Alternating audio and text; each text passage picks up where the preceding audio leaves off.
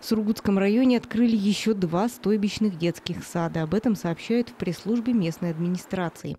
Новые группы для дошколят появились на угодьях в районе Ульт-Ягуна и в окрестностях Нижнесартымского. Онлайн-обучение организовано в рамках окружного проекта «IT-стойбище» при поддержке команды Югры.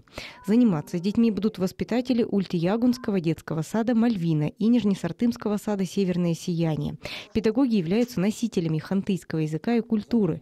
Это, по словам специалистов, специалистов позволит значительно ускорить и облегчить процесс обучения. Сейчас в Сургутском районе работает пять стойбищных школ-садов. Помимо Ультьягуна и Нижнесартымского, они расположены в Рускинской, Угуте и Ленторе. Только в этом году в начальную школу отправились шесть выпускников из родовых угодий.